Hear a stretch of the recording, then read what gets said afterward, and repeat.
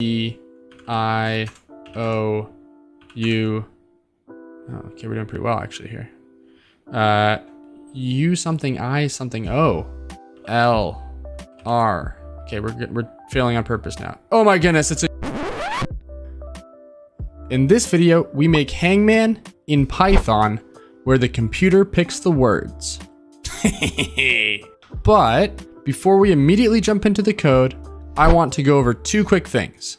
Number one, what is Hangman and how is it played? Number two, what code do we need to make Hangman? Knowing both of these things before you start is important when programming something. You should always know what it is you're trying to achieve, in this case, make Hangman. Then, once you have that figured out, how you plan to achieve it by breaking it down into smaller tasks. So, let's quickly go over Hangman. Feel free to skip ahead if you are a Hangman expert. Hangman is a game that is normally played with pen and paper. It is a head-to-head game where one player chooses a word or phrase.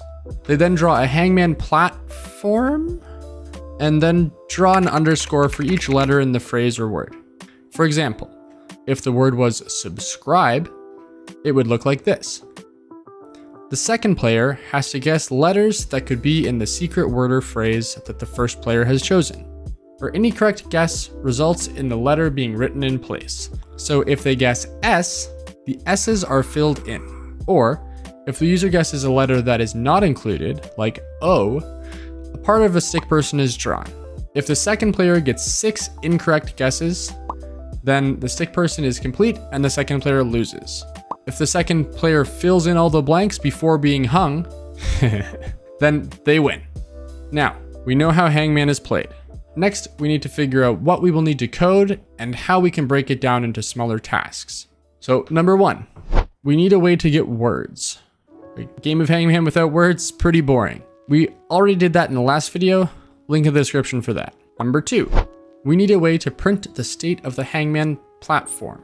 I'm just gonna call it platform. Or basically how to draw the Hangman.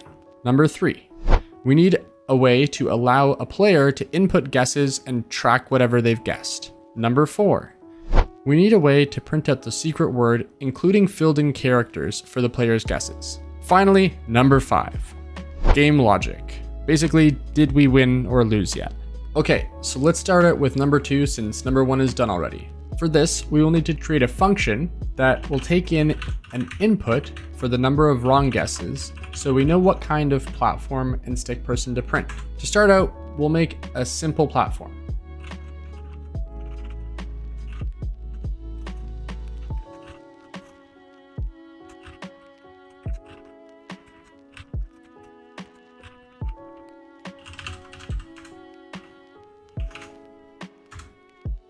Good enough. Then we will need to figure out how to draw the head. So we want the head to be below the line. So if wrong guesses is greater than or equal to one, then we will print the head.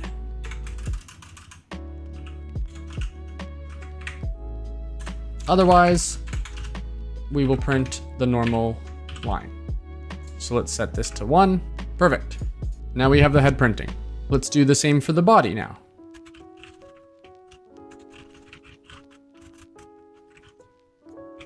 Perfect. But what we might notice here is that we also need to put the arms here as well. So let's do that now.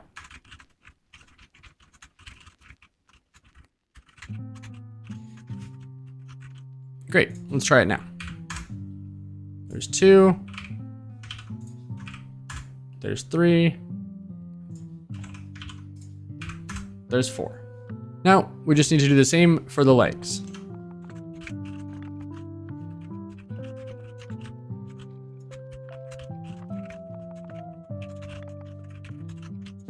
Okay, let's try it out. Okay, we need to move this over by one. Same with this one. Okay, and six. All right, I think that's good enough. And let's also say you lose. Not loser, you loser. It's even more mean. Great.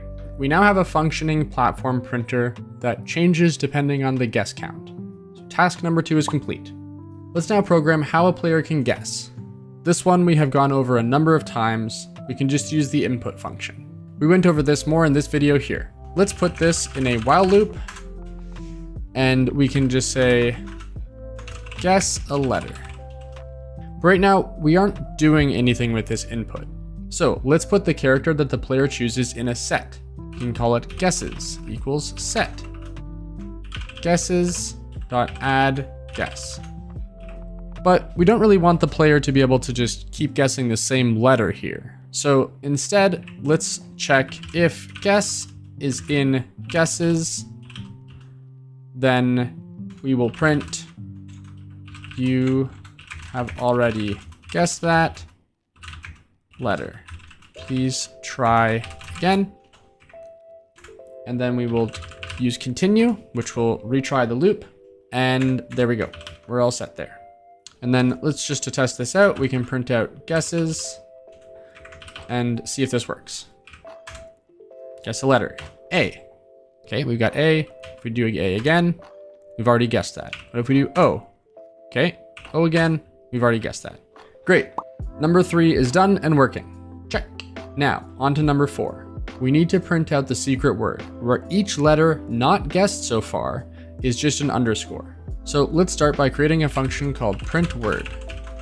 And it will take in the word and the guesses from number three.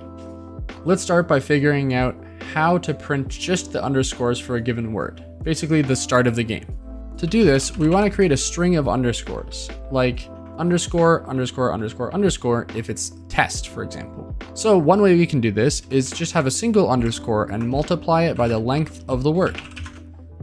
Now if we print out the secret, we can call print word and pass in test and guesses and give it a run. Perfect. While this is good, we want to be able to change parts of the word when the player guesses right. But we can't do that because strings are immutable. So instead, let's make a list of underscores rather than just an entire string. Perfect. Now, we can change the underscores because lists are mutable. Now, let's loop over the word keeping track of the index, and if the letter of the word is found in guesses, we set the letter to that position in the list. So that can look something like this. If letter in guesses, then secret index equals letter. Then we're just going to add one to the index. Then we just have to reset the secret to be a string. We can do that by saying secret equals empty string dot join and then pass in the secret. The reason this will work is because it converts a list into a string. And then we can print secret. So let's give this a try. If we print the word now, we still get empty but now let's pass in t into a set and see what happens. There we go. We get the first t and the last t being printed.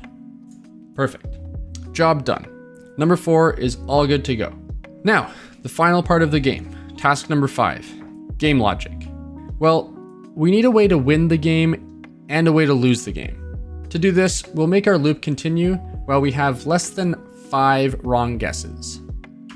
So let's track our wrong guesses. And then let's say, well, wrong guesses is less than or equal to five. Let's also update our print word to also return whether or not we won the game. So let's instead having it say print word, we can say print and did win. And then here we can just return whether the underscore is not in secret because if there are no underscores left in the secret, then that means we have we have picked the entire word. Now, let's uncomment our logic up here to get a word that we want to choose here. So just to make things easier, let's just get rid of the choice for now and we can get rid of all of this and just make it always be a animal for now. Okay, and then we will get the response and we will say that the word is equal to response to JSON and we need to import requests. Okay, perfect. Now each time we run this, we're gonna have a word. Now we can say if guess is in the word, then we will print out you got one. Else, we'll print out wrong. We'll say wrong guess. And then we will increase the number of wrong guesses by one. Now we're going to create one more function called print state, and it's going to be responsible for printing out everything we want. So we're going to print hangman, and we will include the number of wrong guesses here. We will then see if we won by calling print and did win, and we will pass in the word and the guesses. Then finally, we will, we will print out the guessed letters because it's good to know which letters you have guessed so you don't keep guessing the same ones. I know that's a problem for me. And we can just put all these together like that. And then finally, we'll print out just an empty string just to space th things out and return did win. Perfect. So now when we call this, we're going to print out the current state of the game. We're going to print out the secret we will print out the letters that you've already guessed, and then we're gonna return whether or not we've won. So now down here, we can just say did win equals print state.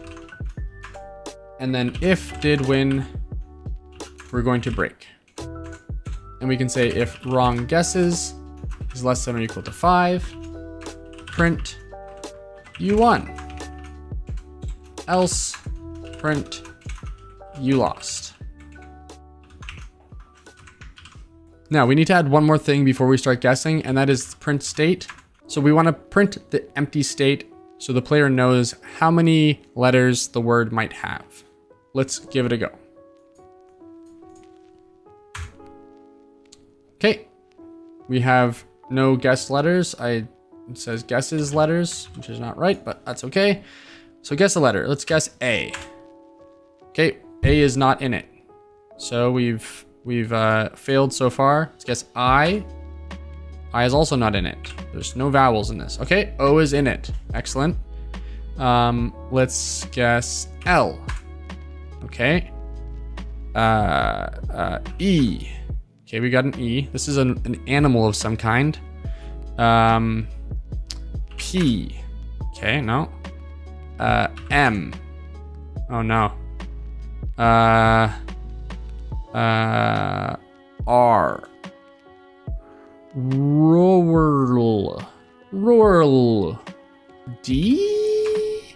No? Okay, cool. Cool, cool, cool, cool, cool. Um, come on, Jake, don't screw this up. Don't screw this up. Yeah, and ah, dang it. Okay, so so far we've not we're not very good at this. That's fine. But another thing we realize now is we don't actually know what the actual answer is. So when we print out that you've lost, we can print out uh, the answer was, or the secret was, and then print out the word. That way when we fail, let's try again real quick. Let's go A, E, I, O, U. Oh, okay, we're doing pretty well actually here. Uh, U something I something O. L. R. Okay, we're, we're failing on purpose now. Oh my goodness, it's a unicorn. It's a unicorn. Heck yeah. Okay, sorry, that was pretty exciting. Uh, okay, great. Well, we know that we've won now, and we know it was a unicorn. Um, let's let's try this again. Uh, okay. Oh my goodness. I'm, I'm so much better when I'm not trying. Okay, there we go. So we can see that it was a clearly a, a coup a coup coupre. All right, totally know what that one is. Awesome. Okay, great. So now this works. Now, the one thing that we can do to make our game a little bit more fun is we can ask the player what type of a thing they'd like to choose, and we can make that a little bit better here. So that way we can get rid of this and we can have it change between an, a noun, an animal, or an, uh, an adjective. But that's it. We programmed Hangman in Python. Making this, we also went over a pretty good way of tackling a project. First, we figured out what we wanted to make, or at least a general idea. Then we broke it down into smaller parts and started implementing it. So this is the end of the Python series. I really hope you enjoyed it. The next thing we're gonna tackle is data structures and algorithms. That might sound intense. It's like we're a crazy hacker man or something, but it's great to know the ways you can organize data and solve problems. Many of the complex problems you'll run into when programming can actually be solved by one of the algorithms or data structures that we'll go over. As always, thanks for watching. Hit like if you liked it, dislike if you didn't, leave a comment about anything, and I'll see you in the next one. Cheers.